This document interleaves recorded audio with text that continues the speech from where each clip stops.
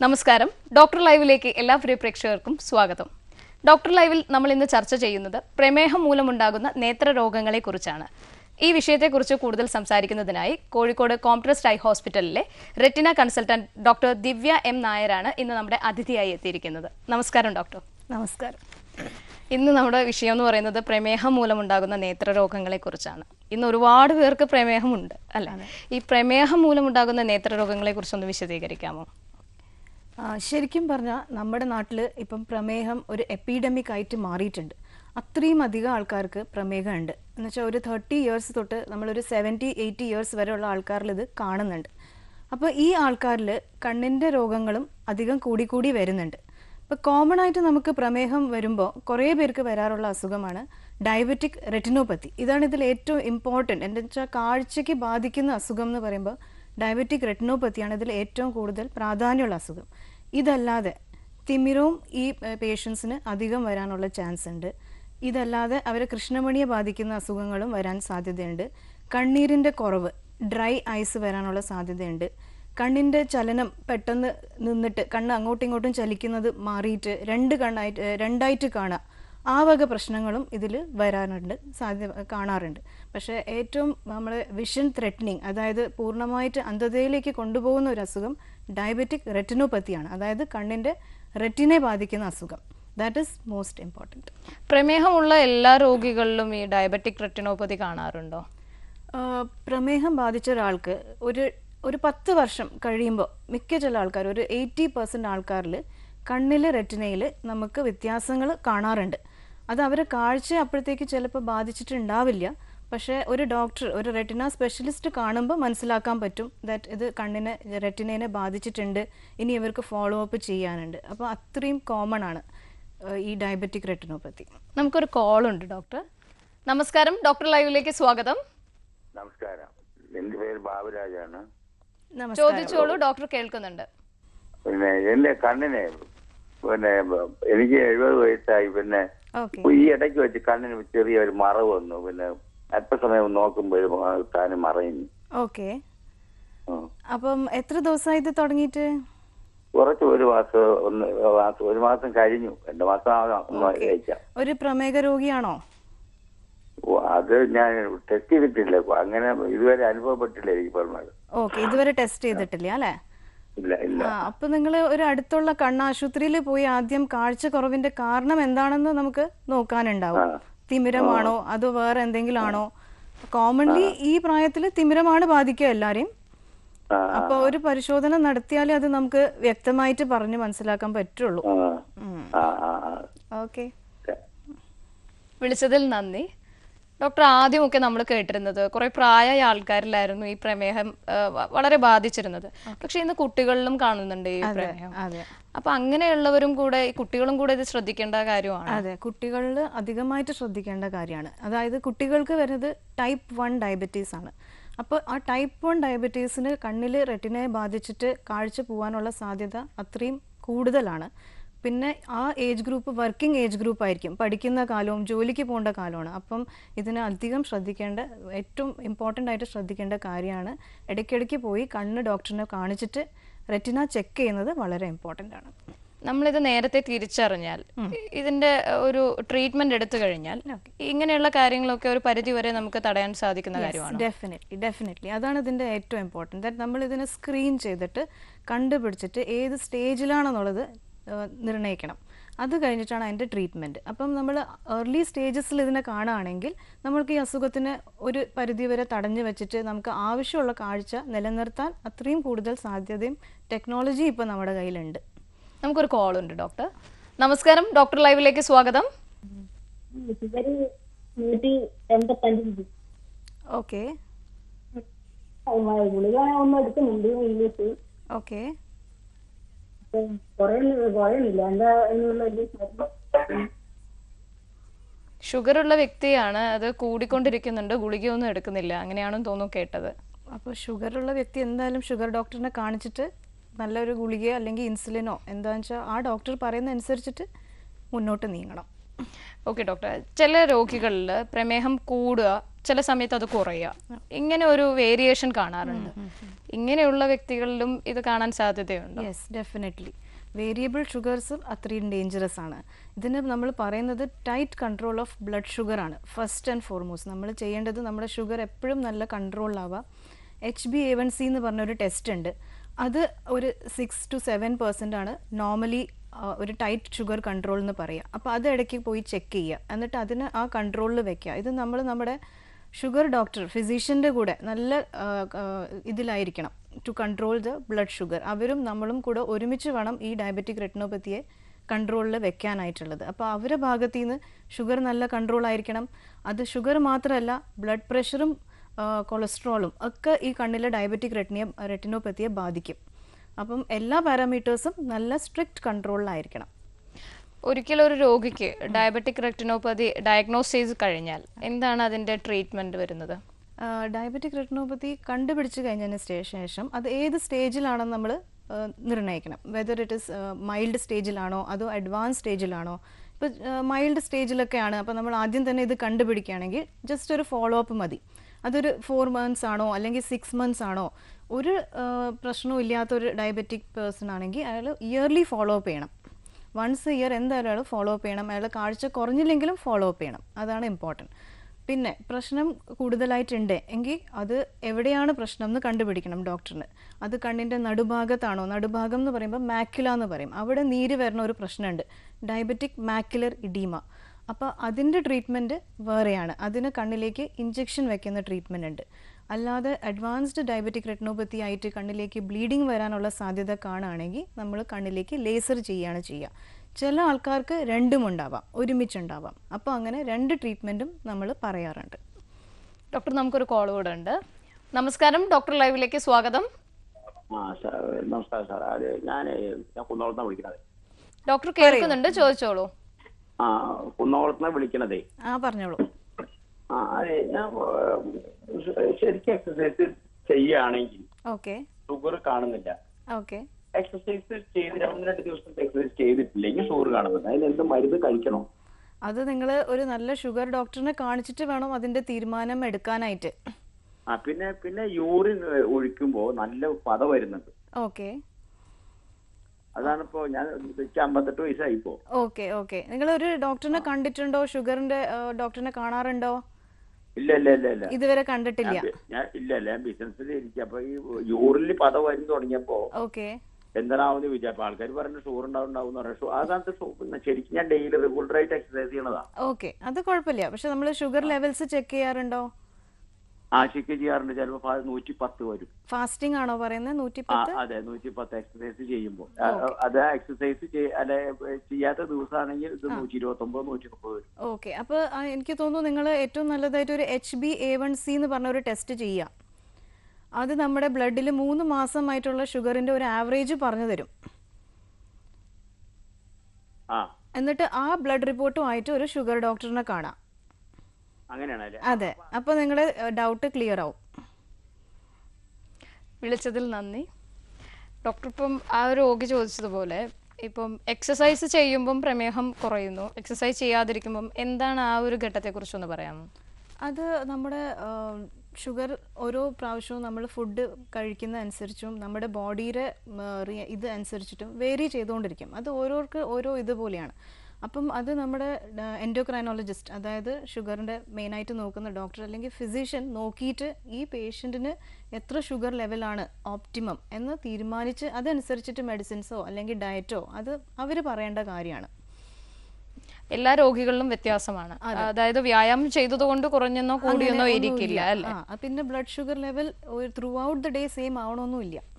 It can all vary അപ്പം അത് ആ, അതനുസരിച്ചിട്ട് ഷുഗർ ഡോക്ടറിനെ കണ്ടിട്ട് ചെയ്യുന്നതാണ് ബെറ്റർ നമുക്ക് ചെറിയൊരു ബ്രേക്ക് എടുക്കാം. ഡോക്ടർ ലൈവിൽ ഇനിയൊരു ഇടവേള.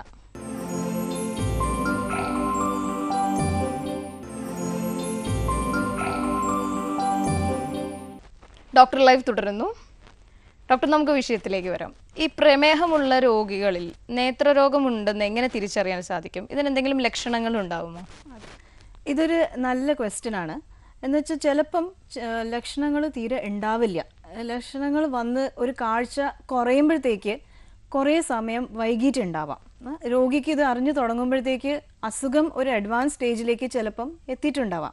അതുകൊണ്ട് ചിലപ്പോൾ ഒരു ലക്ഷണങ്ങളും ഇല്ലാത്ത സമയത്തും നമ്മൾ ഇത് വന്ന് ചെക്ക് ചെയ്യേണ്ടതാണ്. ഇപ്പോൾ ലക്ഷണങ്ങൾ വരുമ്പോൾ കാഴ്ച കുറയുക അല്ലെങ്കിൽ പെട്ടെന്ന് കണ്ണിലേക്ക് മാറാല പോലെ വന്ന് കണ്ണ് മറയുക ആ- ഒരു സ്റ്റേജിൽ അങ്ങനെയൊക്കെ ലക്ഷണങ്ങൾ പറയാറുണ്ട് പേഷ്യൻസ്. പക്ഷേ ഈ പക്ഷേ ഈ മാറാലയൊക്കെ വരുന്ന സമയത്ത് കണ്ണിലേക്ക് ബ്ലീഡിങ് വന്ന സ്റ്റേജാണ് ഇവർ ഈ പറയുന്നത്. പക്ഷേ ശരിക്കും പറഞ്ഞാൽ നമ്മൾ അതിന്റെ കുറേ മുമ്പേ ഇതിനെ കണ്ട് ചികിത്സിച്ച് ഫോളോ അപ്പ് ചെയ്യുന്നത് വളരെ ഇമ്പോർട്ടന്റ് ആണ്. ഡോക്ടർ നേരത്തെ പറഞ്ഞതെന്നും ചോദിച്ചൊരു കണ്ണീര് ഇല്ലാത്ത ഒരു അസുഖത്തെ കുറിച്ച് പറഞ്ഞു.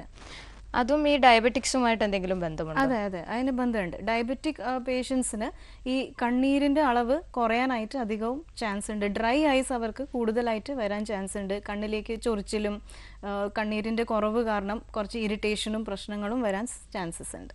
ഈ സ്ക്രീൻ ടൈം കൂടുന്നതുകൊണ്ടും പല കാരണങ്ങൾ കൊണ്ടും ഇന്ന് പല വ്യക്തികളിലും ഡ്രൈ ഐസ് കാണാം ഈ ഡ്രൈ ഐസ് ഉള്ള എല്ലാ വ്യക്തികളിലും പ്രമേഹം ഉണ്ടാവാൻ സാധ്യതയുണ്ടോ? ഇല്ല നോട്ട് നെസസറിലി ഡ്രൈ ഐസ് അത്ര വലിയൊരു സിംറ്റം അല്ല. അത് വളരെ കോമൺ ആയിട്ട് കാണുന്നതാണ്. അത് അങ്ങനെ നമ്മൾ ഇപ്പം എല്ലാവരും സ്ക്രീൻ ടൈം കൂടുതലാണ്. നമ്മൾ ടി വി അധികം കാണുന്നുണ്ട് മൊബൈൽ കാണുന്നുണ്ട്. അപ്പോൾ അത് കാരണം ഡ്രൈ ഐസ് ഇപ്പോൾ വളരെ കോമൺ ആയിട്ട് കാണുന്നുണ്ട്. ബട്ട് നോട്ട് നെസസറി എല്ലാവർക്കും ഡയബറ്റീസ് ഉണ്ടാവണമെന്നൊന്നുമില്ല നമുക്കൊരു കോൾ ഉണ്ട്. നമസ്കാരം. ഡോക്ടർ ലൈവിലേക്ക് സ്വാഗതം. നമസ്കാരം. പറഞ്ഞോളൂ. കെ എസ് എസ് നമ്പൂതിരി കോട്ടയത്ത് കുമാരനല്ലൂരിൽ നിന്ന് വിളിക്കുകയാണ്. ഓക്കെ പറഞ്ഞോളൂ. എനിക്ക് എഴുപത്തി അഞ്ച് വയസ്സ് കഴിഞ്ഞു. ഓക്കെ ഒരു മൂന്ന് മാസം മുമ്പ് കണ്ണിന്റെ ഒരു ഓപ്പറേഷൻ വേണ്ടിയിട്ട് പോയി. കണ്ണ് കാണി ഇതായിട്ട് പോയപ്പോ അവർ ബ്ലഡ് ടെസ്റ്റ് ചെയ്തപ്പോ ഈ ഡയബറ്റിക് ആണ്. അതുവരെ ഡയബറ്റിക്കിന്റെ ഒന്നും ടെസ്റ്റ് ചെയ്തിട്ടില്ല. അപ്പൊ നോക്കിയപ്പോ അത് മുന്നൂറ്റി ചില്ലുവാനും മുന്നൂറ്റി എൺപത്തെട്ടോ മറ്റോ അങ്ങനെ. അപ്പൊ അത് മാറിയിട്ടേ ഓപ്പറേഷൻ ചെയ്യാൻ പറ്റുള്ളൂ എന്ന് പറഞ്ഞു. അതായത് ഈ ഇതായിരുന്നു എന്തെന്നാ വയസ്സന്മാർക്ക് വരുന്ന കണ്ണിന്റെ തിമിരമാണോ? ആ തിമിരം. Yes. ആ അപ്പൊ ആ തിമിരത്തിന് വേണ്ടിയിട്ടാണ്. അപ്പൊ ചെന്നപ്പോ എന്നിട്ട് മൂന്നാൽ ദിവസം കിടക്കേണ്ടി വന്നു. ഈ ബ്ലഡ് ടെസ്റ്റ് ചെയ്ത് അത് മാറാനായിട്ട് വേണ്ടി ഡയബറ്റിക്കിന്റെ നോർമൽ ആകാൻ വേണ്ടി എന്നിട്ടാണ് ചെയ്തത്. ഒരു കണ്ണിനെ ചെയ്തുള്ളൂ. എനിക്കറിയേണ്ട എനിക്കറിയേണ്ടത് ഇപ്പൊ ഡയബറ്റിക് ആണ് വാസ്തവത്തിൽ ഇപ്പോഴും അപ്പോ ഇനി അത് മറ്റേ കണ്ണിന്റെ എന്താ ചെയ്യേണ്ടതെന്ന് അറിയില്ല. അതിന് ഓപ്പറേഷൻ വേണോ? ഇതുപോലെ എന്താ വേണ്ടതെന്ന് ഡോക്ടറുടെ അഡ്വൈസ് കിട്ടിയാൽ കൊള്ളായിരുന്നു. ഓക്കെ. ഈ കണ്ണ് എപ്പോഴാണ് ഓപ്പറേഷൻ കഴിഞ്ഞ് ഇതിപ്പോ മാർച്ചിൽ. മാർച്ചിൽ അതിന് നല്ല കാഴ്ച ഉണ്ടോ കാഴ്ച നല്ലതായിട്ട് കാണ- കണ്ണട വെക്കാതിരുന്നാലാ കാഴ്ച തോന്നുന്നുണ്ട്. ഇപ്പൊ ഇപ്പൊ പുതിയ കണ്ണടയൊക്കെ കുറിച്ച് തന്നു ഓക്കെ. അത് വെച്ചിട്ടൊന്നും ശരിയാകുന്നില്ല പിന്നെ ഞാനങ്ങനെ പോവുക. എനിക്കാണെങ്കിൽ വായിച്ചാൽ എത്രയായാലും മതിയാകില്ല വായനയാണ് എന്റെ ഹോബി. റിട്ടയർ ചെയ്യുന്നതിന് മുമ്പേ അതെ റിട്ടയർ ചെയ്തപ്പോ പിന്നെ അത് തന്നെ ഉള്ളൂ. വേറെ ഒന്നുമില്ല അതും കുറച്ച് ടി വിയിലെ രാഷ്ട്രീയം ചർച്ചകൾ കേൾക്കും. അതൊക്കെ ഉള്ളൂ. അപ്പൊ എന്താ വേണ്ടേ? ഇനി അടുത്ത ഇതിനെ ഓപ്പറേറ്റ് ചെയ്യണോ? ചെയ്തില്ലെങ്കിൽ കുഴപ്പമുണ്ടോ? ഇതൊക്കെ ഒന്ന് അറിഞ്ഞാൽ കൊള്ളായിരുന്നു ഓക്കെ. ഈ ചെയ്യുന്ന സമയത്ത് ഡോക്ടർ കണ്ണിന്റെ റെറ്റിനെ പറ്റി എന്തെങ്കിലും പറഞ്ഞിട്ടുണ്ടോ? പ്രമേഹം ബാധിച്ചിട്ടുണ്ടെന്നോ? അങ്ങനെ എന്തെങ്കിലും പറഞ്ഞിട്ടുണ്ടോ? ഇല്ല പ്രമേഹ രോഗിയായിട്ടാണ് അവിടെ ചെല്ലുന്നത്. ഞാനിത് അറിയാതെയാണ് ചെല്ലുന്നത്. ഓക്കെ. മറ്റേ കണ്ണിന്റെ അവസ്ഥ അന്ന് എന്തെങ്കിലും പറഞ്ഞിട്ടുണ്ടായിരുന്നോ? ആ അതിന് ഓപ്പറേറ്റ് ചെയ്യണമെന്നൊക്കെ എന്നൊക്കെ ഇനി രണ്ടു മൂന്ന് മാസം കഴിഞ്ഞാൽ ഓപ്പറേറ്റ് ചെയ്യണമെന്നൊക്കെ പറഞ്ഞു. അതെ അതെ. അപ്പൊ അതിനിപ്പോ കാഴ്ച കുറവുണ്ടോ ആ ഇപ്പൊ കമ്പാരിറ്റീവ്ലി മറ്റേ ഓപ്പറേറ്റ് ചെയ്യാത്തതിന് സ്വല്പം ഒരു മങ്ങല. ഓക്കെ. അപ്പൊ അതിന് തീവ്രം നീക്കി ഓപ്പറേഷൻ ചെയ്യുന്നതായിരിക്കും നല്ലത്. അപ്പൊ കണ്ണട പിന്നെ വീണ്ടും മാറണം. കണ്ണട പിന്നെയും മാറേണ്ടി വരും. മറ്റേ കണ്ണ ഓപ്പറേഷൻ കഴിയുമ്പോൾ പിന്നെയും മാറേണ്ടി വരും. അതെ അതെ. Okay thank you so much.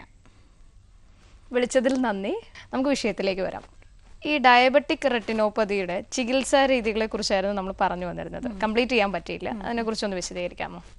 അപ്പോൾ ഡയബറ്റിക് റെറ്റിനോപ്പത്തി കണ്ടുപിടിച്ചതിന് ശേഷം നമുക്ക് ചിലപ്പോൾ രണ്ട് മൂന്ന് ടെസ്റ്റുകൾ അവിടുന്ന് ചെയ്യാനുണ്ടാവും. കണ്ണിന്റെ ഏത് സ്റ്റേജിലാണ് ഇത് എത്തിയിട്ടുണ്ടെന്ന് അറിയാൻ വേണ്ടിയിട്ട്. അപ്പോൾ അതിൽ സിമ്പിളായിട്ടുള്ള ടെസ്റ്റുകൾ തന്നെയാണുള്ളത്. ഒന്ന് വന്നിട്ട് ചിലപ്പം കണ്ണിന്റെ റെറ്റിനയിൽ ഒരു സ്കാൻ പറയും. ഒ സി ടി എന്ന് അതിന് പറയും. അതും വളരെ എളുപ്പമായിട്ട് നമുക്ക് പെയിൻലെസ് ആയിട്ട് ചെയ്യാൻ പറ്റുന്ന ഒരു സ്കാനാണ് പിന്നെ ചിലപ്പം ചില ഡോക്ടേഴ്സ് ഒരു ആൻജിയോഗ്രാം പറയും. അത് നമ്മൾ ഒരു ഡൈ വെച്ചിട്ട് കണ്ണിന്റെ രക്തക്കുഴൽ എങ്ങനെയുണ്ട് എത്രത്തോളം ഡയബറ്റിക് റെറ്റിനോപ്പതി നമ്മളെ ബാധിച്ചിട്ടുണ്ട് എന്ന് കണ്ടുപിടിക്കാനാണ്.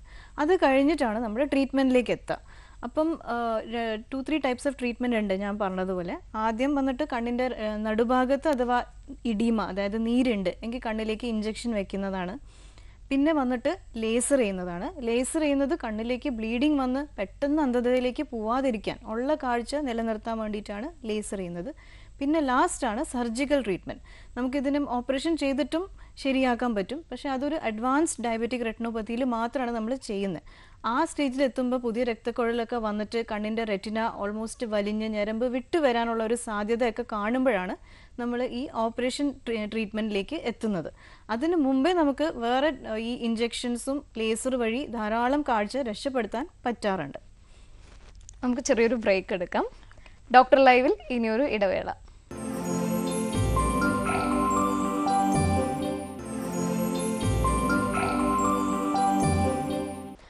ഡോക്ടർ ലൈവ് തുടരുന്നു. ഡോക്ടർ നമുക്കൊരു കോൾ ഇവിടെ ഉണ്ട് നമസ്കാരം. ഡോക്ടർ ലൈവിലേക്ക് സ്വാഗതം. ഹലോ. കേൾക്കുന്നുണ്ട്. ഡോക്ടറോട് ചോദിച്ചോളൂ. ആ എനിക്ക് ഷുഗർ രോഗം ഉണ്ടായിരുന്നതാണ്. ഉണ്ട് ഇപ്പോഴും ഉണ്ട്. എന്റെ കണ്ണിന് കാഴ്ചക്ക് വ്യത്യാസമുണ്ട്. അത് ഞാൻ ലേസർ അടിച്ചതാണ് കണ്ണിൽ. ഇപ്പൊ കാഴ്ച കുറേശ്ശെ മങ്ങുന്നുണ്ട്.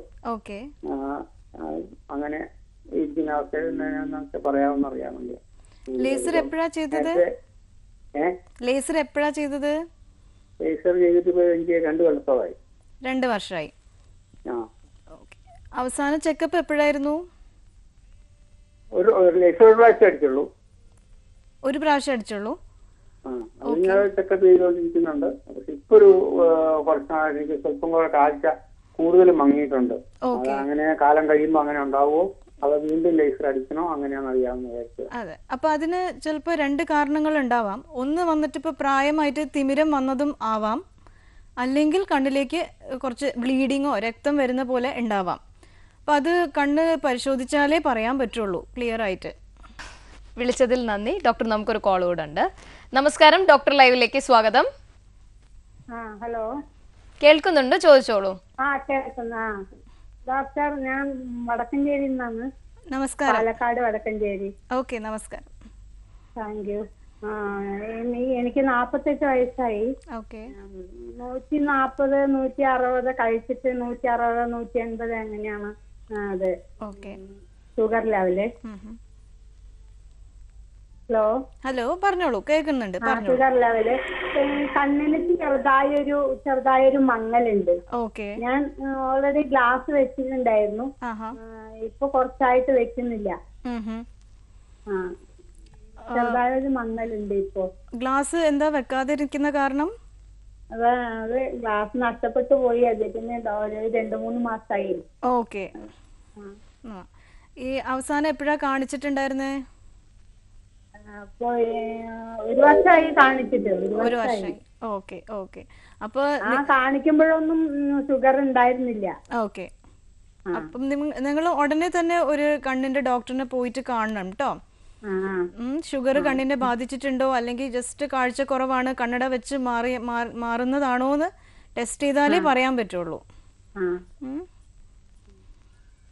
വിളിച്ചതിൽ നന്ദി. നമുക്ക് വിഷയത്തിലേക്ക് വരാം. ഡോക്ടർ ഈ ഡയബറ്റിക് പേഴ്സൺ ഇപ്പോൾ ഒരു സർജറി ചെയ്യുവാണെന്നുണ്ടെങ്കിൽ ഓക്കെ. ഏത് സർജറിയാണ് ഇപ്പോൾ ഏറ്റവും കൂടുതൽ നൂതനമായിട്ടുള്ള ഒരു സർജറി എന്ന് പറയുന്നത്? ഡയബറ്റിക് റെറ്റിനോപ്പത്തിക്കുള്ള സർജറിയിൽ നമുക്കിപ്പോൾ ഒരു കീഹോൾ വഴി ചെയ്യാനുള്ള ശസ്ത്രക്രിയയൊക്കെ ഉണ്ട്. നമ്മൾ വിട്രക്റ്റമി എന്നാണ് അതിനെ പറയുക. അപ്പോൾ കണ്ണിലേക്ക് ആ, കണ്ണിനകത്തുള്ള വിട്രിയസ് ജെല്ലിന്റെ അകത്താണ് ഈ പുതിയ രക്തക്കുഴൽ വന്ന് ബ്ലീഡിംഗ് ഒക്കെ ഉണ്ടാവുക. അപ്പോൾ അതിനെ കട്ട് ചെയ്തിട്ട് ഉള്ളിൽ നിന്ന് ലേസർ ചെയ്തിട്ട് കണ്ണിനെ സ്റ്റേബിൾ ആക്കുന്നതാണ് ഈ പുതിയ ശസ്ത്രക്രിയ ഉള്ളത്. അത് അങ്ങനെ വലിയ അനസ്തേഷ്യ ഒന്നും വേണ്ട. സാധാരണ നമ്മൾ തിമിരത്തിന് യൂസ് ചെയ്യുന്ന അനസ്തേഷ്യ തന്നെയാണ് ഇവിടെയും യൂസ് ചെയ്യുന്നത്. അത് കാരണം രോഗിക്ക് വേറെ പ്രത്യേകിച്ച് ബുദ്ധിമുട്ടൊന്നും ഉണ്ടാവാറില്ല. ഈ നൂതന ചികിത്സാ രീതി കൊണ്ടുള്ള ഗുണങ്ങൾ എന്തൊക്കെയാണ്?